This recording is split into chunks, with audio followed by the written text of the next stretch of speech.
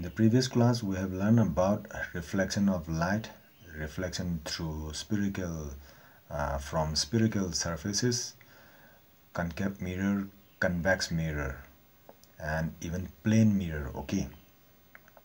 And in it, we have learned about those of the sign conventions, then image formation by the spherical mirrors, then what uh, we have learned about that sign convention, mirror formula, then magnification due to spherical uh, surfaces and all. So in today's class we will learn about the refraction of light and how this refraction of light takes place the laws of refraction all will be learned here okay and the main purpose of our today's class will be refraction through spherical um, surfaces like that of what uh, the convex lens and concave lenses okay? So what is uh, this refraction? So refraction may be defined as the phenomenon of bending of an oblique light ray when it passes from one medium to another medium having different optical densities okay?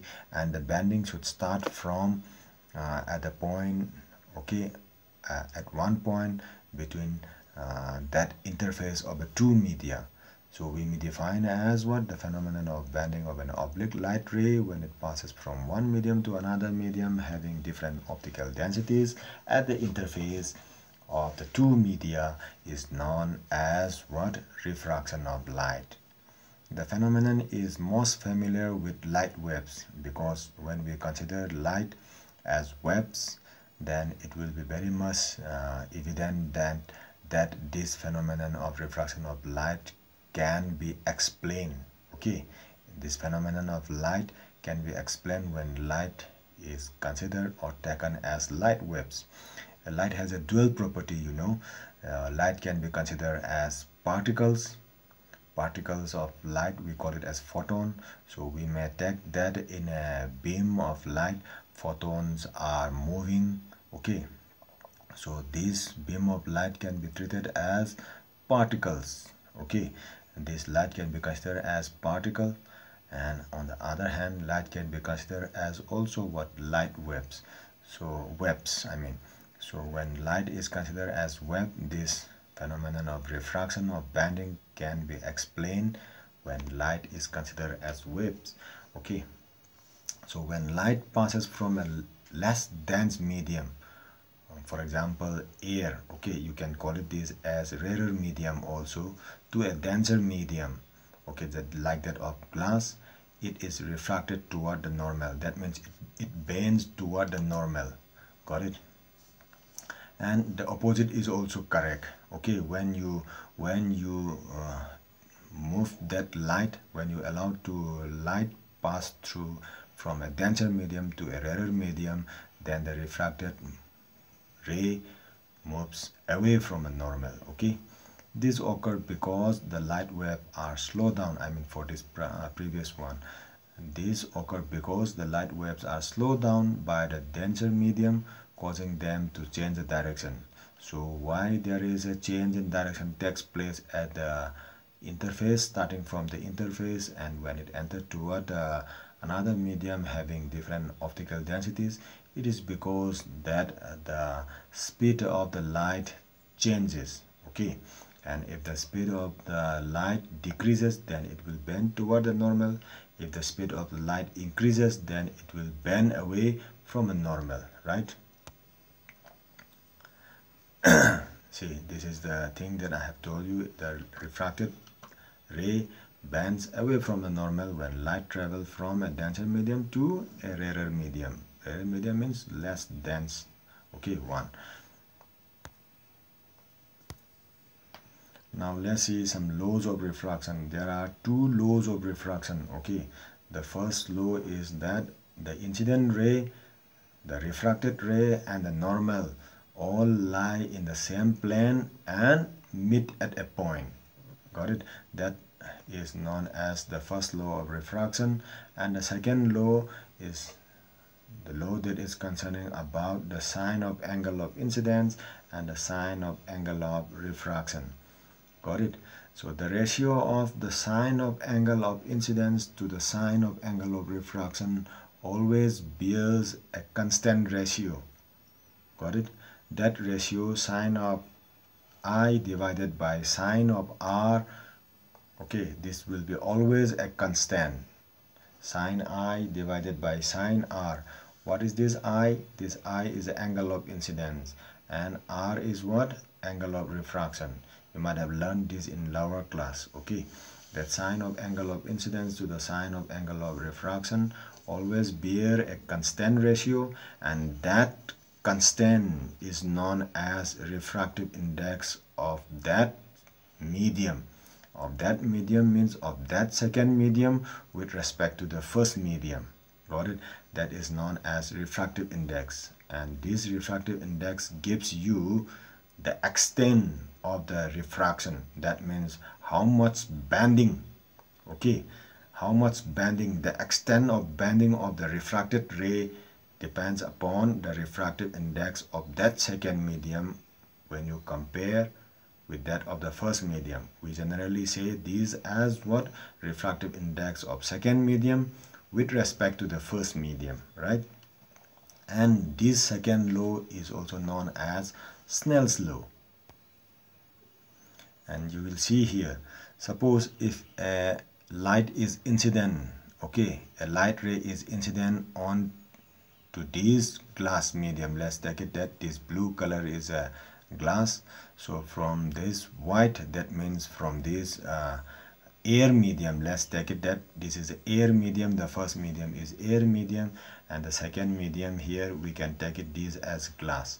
So when light ray passes from the rarer medium to a denser medium what happened instead of going straight like this then what happened the light ray bends toward the normal so that this is a refracted ray.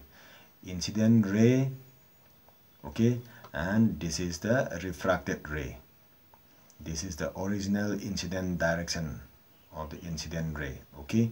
So the angle between the incident ray and the normal at the point of incidence this angle we call it as angle of incidence.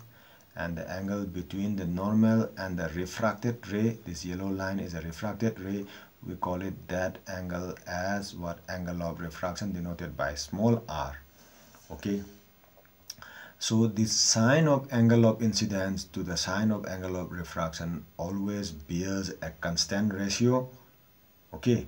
And that ratio we call it as refractive index and that refractive index is constant okay for this pair of media whether you are taking glass here uh, air and glass.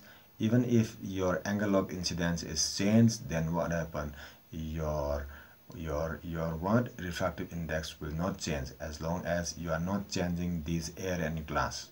So for this particular pair of media refractive index is constant irrespective of the angle of incidence okay? Now this is a refraction in the case of what uh, the glass slab.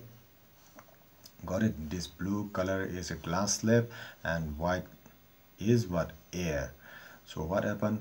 When light travel from this what air medium to glass and then when it emerges out again in the same air medium from the glass then we call it this light ray as what? Emergent ray emergent okay? This is the actual incident direction and this is the emergent ray. That means it emerges out from the glass medium to the air medium again. So we call it this as emergent ray. And sometimes we may also call it this angle as angle of emergence denoted by small e. Angle of emergence okay. So this angle of emergence e here it is denoted by r but it may be denoted by e. This angle e and this angle of incidence these two will always be equal. That means in the case of glass slab the opposite faces where the light enters and where the light emerges out these two faces are parallel. So what happened in such okay uh, opposite faces are parallel what happened? Angle of incidence is always equal to angle of emergence. Got it? And what happened? As these two are equal what happened the emergent ray and the incident ray these two rays will be always parallel okay? So in the case of refraction through a glass slab what happened? Incident ray and the emergent ray are always parallel clear? And see there is a shifting of this light ray. Actually the incident light ray is supposed to be here. Had there been no glass slab then what happened? The incident ray would have been moving along this path right? Due to this glass slab what happened? The ray shifted here. That means the incident ray which was supposed to be here has been shifted here. So we call it this light ray as what uh, this shifting of this light ray emergent ray the distance between these two incident ray and the emergent ray the perpendicular distance we call it that as what? Lateral displacement. Lateral means side okay displacement shifting. So it has been shifted from this part to this part sidewise so we call it that perpendicular distance between these two ray that means incident ray and the emergent ray we call it that as lateral displacement. And in the case of glass slab it depends upon uh, it means your lateral displacement depends upon the angle of incidence also directly proportional. If angle of incidence increases lateral displacement will be more. And it also depends upon the thickness of the glass slab. This thickness more the thickness more displacement will be there. Got it? That is about little bit about uh, the idea for that of what uh, refraction through glass slab. Now let's see about the different refractive index for different uh, media okay?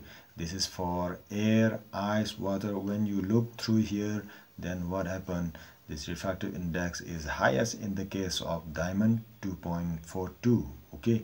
And least for air or vacuum. For vacuum we take it as 1 and for that of dry air it is what 1.0003 which is approximately equal to that of vacuum.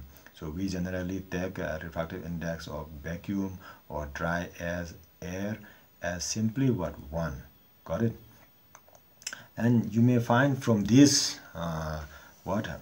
Table that this relative density uh, this I mean what uh, or yes optical densities or rather refractive index is not same with that of mass densities. Got it? Mass density and this what uh, optical densities are little bit different. Okay? Density we know that it is mass per unit volume. We call it that density as mass density. But in the case of this optical density or light density it is not like that you will see in the case of kerosene. Kerosene is lighter than what? Water right? Kerosene is lighter than water i mean in the mass density. So what happened? Uh, this kerosene float above the water right? Because density of kerosene is less than density of water mass density i mean. But in the case of optical density you will see that density of water optical density or refractive index you can say it is only 1.33 but in the case of kerosene it is 1.44 so what happened? Your uh, refractive index of more mass density is having less optical density than that of this what having lesser mass density that means in the case of mass density water is more than kerosene but in the case of what optical density kerosene is more than that of water. So this mass density and optical densities are slightly different okay? Don't think that if the mass is uh, if the density is more i mean mass density is more don't think that it will be optically denser. Got it? Yes that is the idea that i want to share with you. Now let's take it as refraction for prism okay refraction for prism. In the case of prism what how will you define a prism? Now you may want to define that a prism is a transparent medium bounded by so and so but we can't uh, define it in that way. Okay having different what uh, these uh, square faces or rectangular faces three rectangular faces and two triangular faces not bounded by not you have to you should not define not in that way rather now when you light pass when you allow to pass light through this prism then it will pass through this one of the face like this and it emerges out here like this. So we may define uh, prism as a transparent medium bounded by two refracting faces.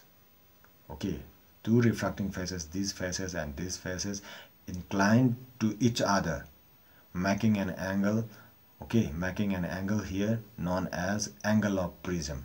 So you may define as prism as what? It is a transparent medium bounded by two refracting faces inclined to each other making an angle known as angle of prism. Okay you may define in that way as prism. Now when light passes here what happens? This is the incident ray normal at the point of incidence what happened as light travel from rarer medium to denser medium so let's take it this uh, prism as a glass prism. So when light travel from rarer medium to denser medium we know that it bends toward the normal. So it will bend here. This is the original incident direction of the incident ray okay? This light ray i mean. This is the original incident ray but when it emerges uh, when it enters into this glass medium it will bend toward the normal and it splits up here. If it is white light okay it will split up into seven constituent colors and it will be immersed out again.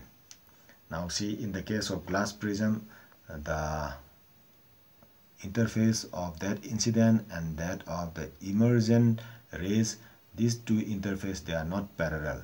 Unlike that of the what glass slab so these two will not be parallel. The incident ray and the emergent ray will not be parallel here. Why? Because the opposite faces that means the interface of these air and glass glass and air they are not parallel. Got it? So it emerges out and it is because of these two uh, because of this what uh, splitting of this white light into its constituent color. Had there been a screen here then it would have formed the patches of color. Okay. That patches of color so often due to dispersion of white light into seven constituent colors that obtain on the screen. We call it those patches of different colors. Okay. We call it that as spectrum. Okay. Now what happened these different colors why they are splitting like this? Because it is due to that of the what? Refractive index. Refractive index depends upon the wavelength of light incident on it. As this white light consists of seven colors that means it we may take that this white light consists of seven seven wavelengths of light so for those different wavelengths of light that means for different colors what happen it will be having different angle of refraction. Different angle of refraction means it has different refractive index and so what happen it will what disperse or split it into seven colors. And for those of seven different refracted rays it will have different emergent rays. Got it now the angle between the incident direction and the emergent ray that angle we call it as angle of deviation. What is this angle of deviation? Angle between the incident ray and the emergent ray we will call it that as angle of deviation. So for these different colors this will be violet indigo blue green yellow orange and the last will be red okay so what happened for these different colors what happened it will have different angle of deviation. Got it? So angle of deviation for red is the least and that of the violet will be what? The highest. Okay? So your violet will have the highest angle of deviation and so it will be deviated most and so what happen it will keep on decreasing with indigo blue green yellow orange and the red will be having least angle of deviation. Got it? We will learn this in higher class in details okay? Now this is an example of uh, the refraction of light. Now see from this okay sunlight is incident on it and from that fish light is being refracted and the refracted ray reaches to our eye and we may see the position of the fish somewhat raising upward. We call it these as apparent. Whatever we see okay that is actually not the actual position. That position of the fish we call it here which is little bit raised upward. This as the apparent position and this is the actual position or real position of the fish okay so this is due to the refraction okay okay of light. The light seems to be coming out from somewhere there and the position of the fish appears to be somewhat raised. This is not the actual apparent position and the actual position is somewhere below it okay? Uh,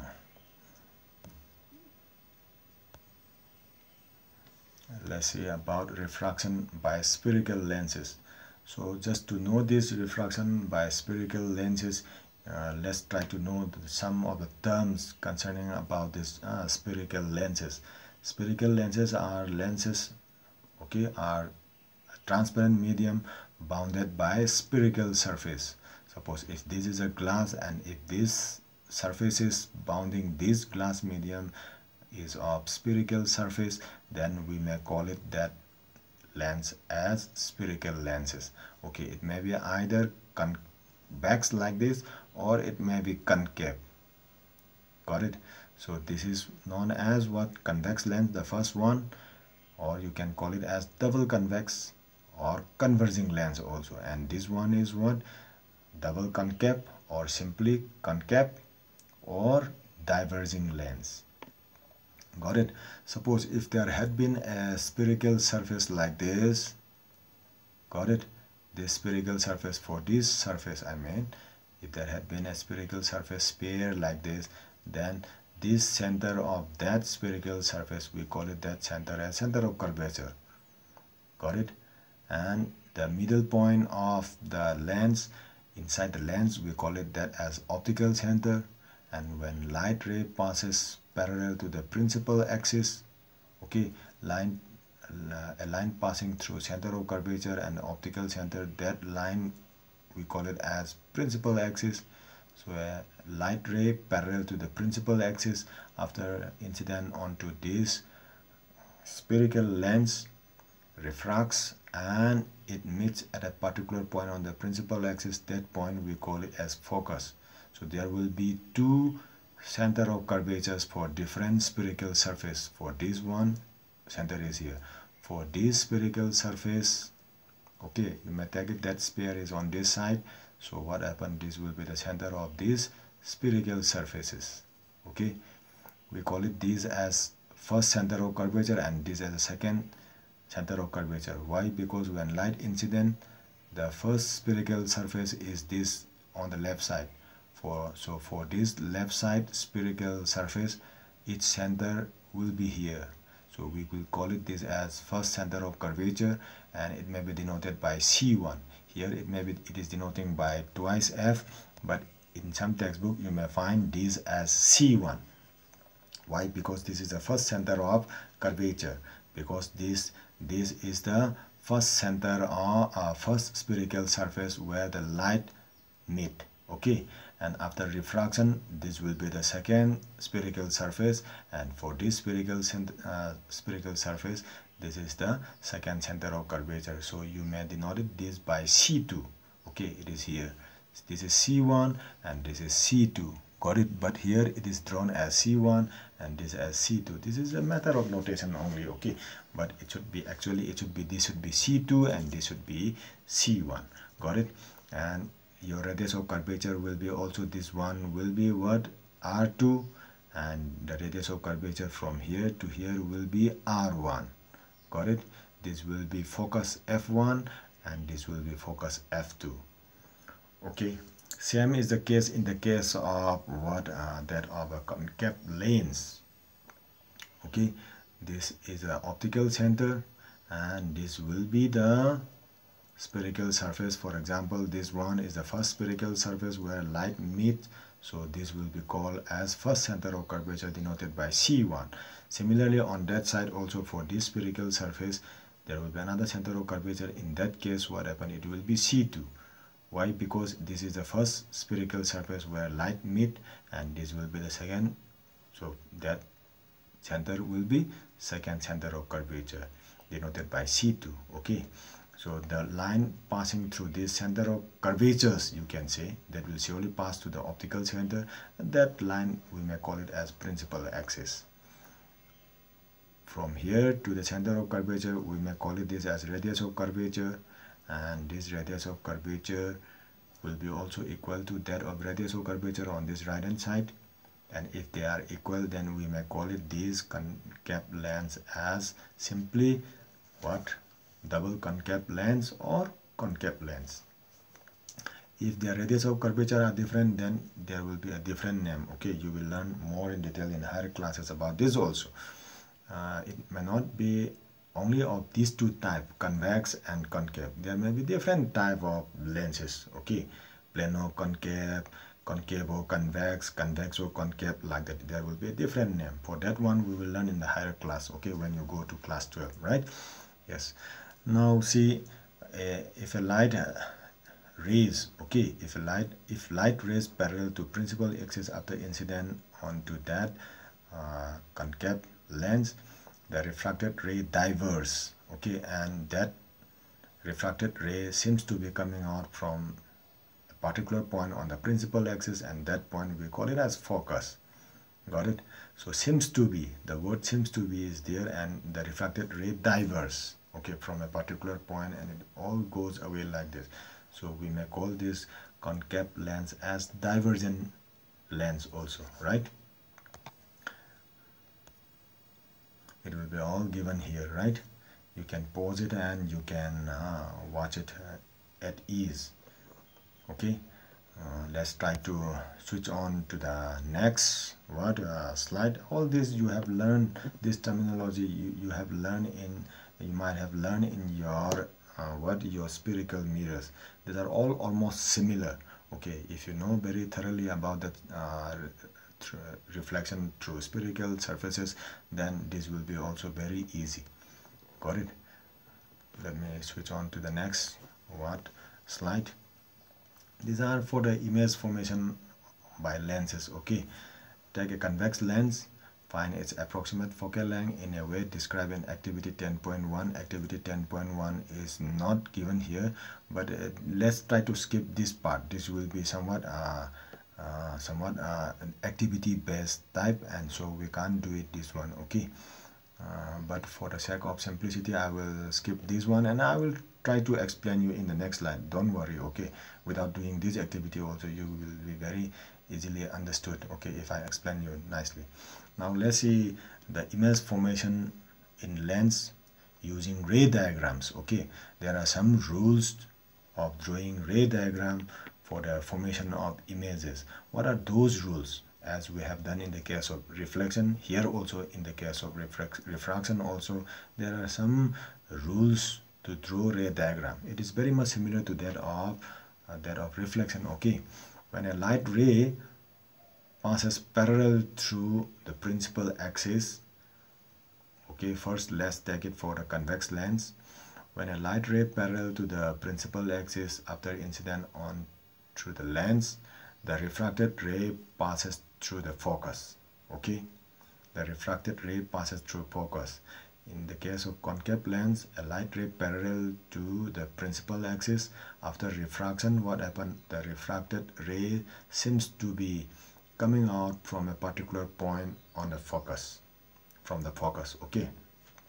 Similarly what happened as i said in the case of convex ray this ray actually the refracted ray actually passes through a particular point on the principal axis known as focus okay?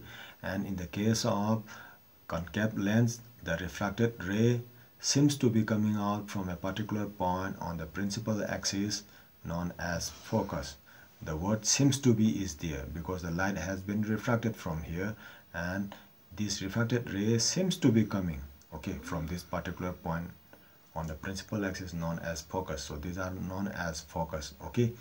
And now the second rule is just uh, the reverse of this part of the light ray. Suppose in the case of convex lens if a light ray passing through this focus okay passing through this focus like this and after incident onto this convex lens then the refracted ray will be what? Going parallel to the principal axis. That is what it is shown here.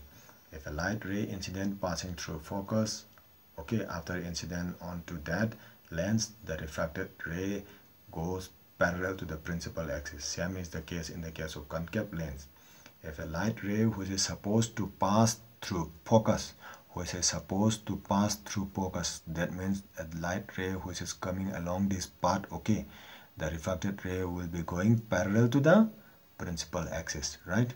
Yes. And the last one is what? A light ray passing through the optical center of the lens both in the convex and the concave what happen? The refracted ray goes without any deviation. Got it without any bending it will have to go along the path okay of that of the incident ray. The refracted ray should have to go along the path of the incident ray so no bending take place when the light ray incident onto the optical center okay. That is the case for this principal axis also. When a light ray is passing through this principal axis that is also optical center passing through optical center so it goes without any bending right? Those are the rules for the drawing of ray diagrams through what? Lenses okay? Now let's see some image formation. Image formation in the case of convex lens first okay? When the object is very far away at infinity the image will be formed at focus okay? All the light rays coming from the uh, infinity can be taken as those light ray can be taken as parallel to the principal axis and those light rays parallel to the principal axis it will pass through the focus by following the rule number one okay? So all these refracted rays intersect at this point meet at this point so the image will be formed here. And moreover these are the real refracted rays and so the image will be real. So the when the object is at infinity the image will be formed at focus and the nature of the image will be what? Real.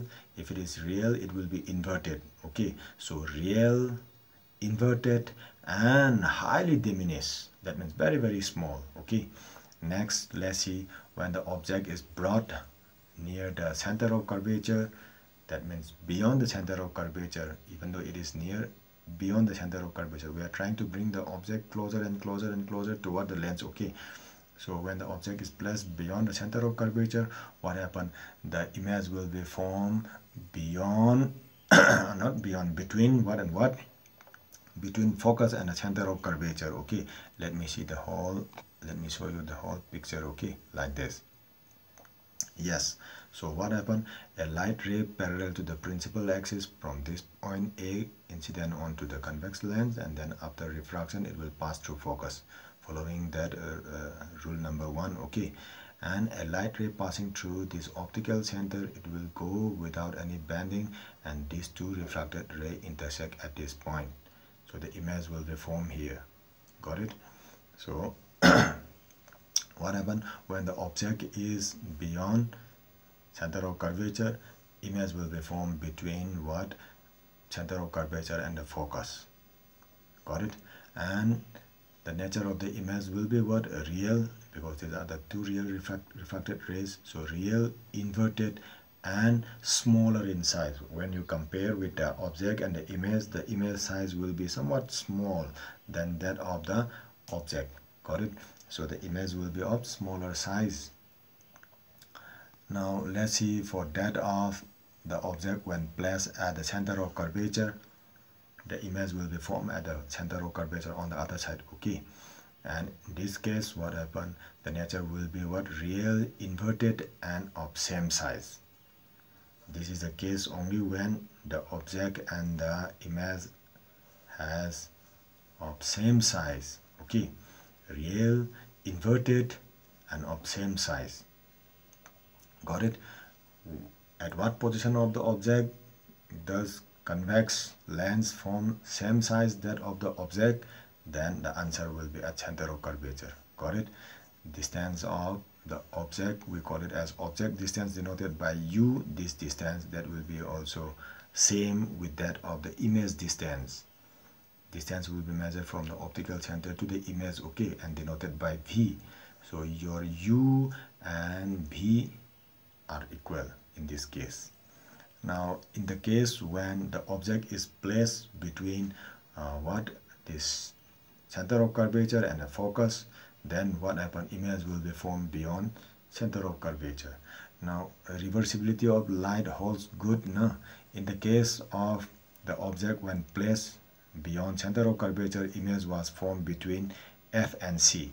So if this is met as object then this would have been image. That is what is happening now okay when the object is placed between this center of curvature and the focus image is formed beyond c right?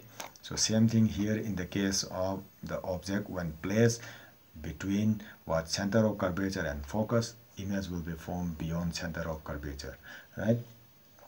One ray following the rule number one parallel to principal axis it will, it will pass through focus and another ray and that means rule number three which passes through optical center it goes without bending. And the two refracted real refracted ray meet here and the image will be formed here okay? And the image is inverted and formed beyond center of curvature. Got it? And it is magnified. So the nature of the image will be what? Real inverted and enlarged you can see. Now when you uh, bring the object at focus okay the image will be formed at infinity. In that case what happened? The image will be what? Real inverted and highly enlarged. That one it is not shown here okay?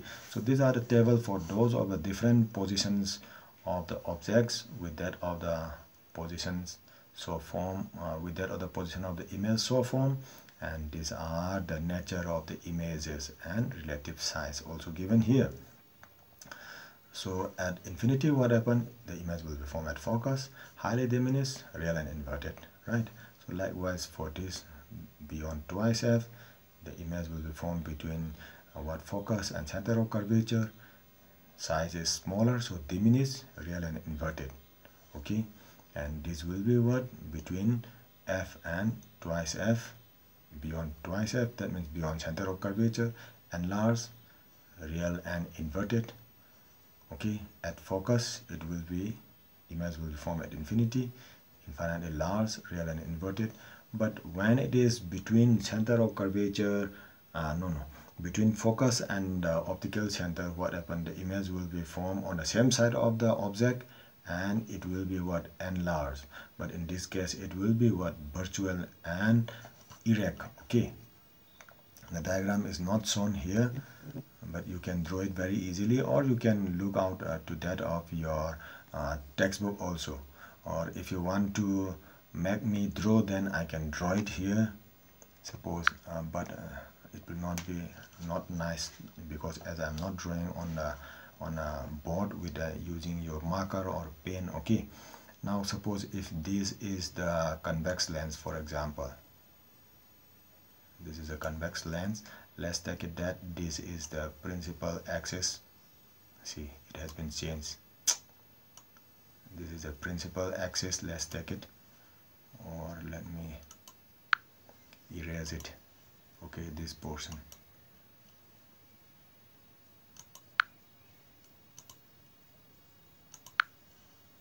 So let's take it that this is a principal axis. Okay.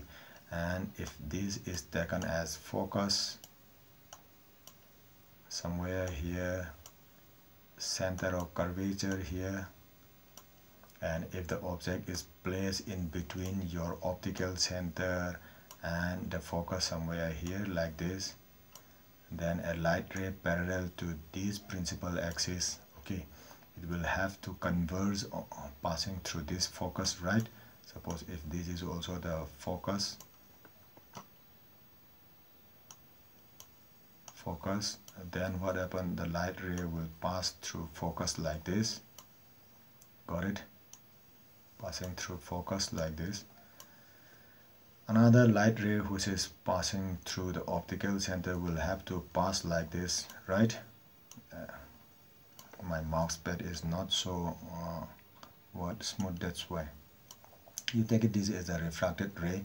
So these two refracted rays seems to be uh, intersect somewhere there okay these two refracted rays seems to be coming some from somewhere from this point behind.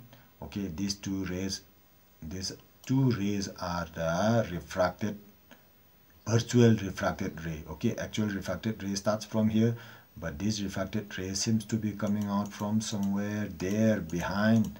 Okay like this this ray also seems to be coming out from behind. So these two refracted virtual refracted ray meet here and the image will be formed here. Got it? So this will be the image for this object.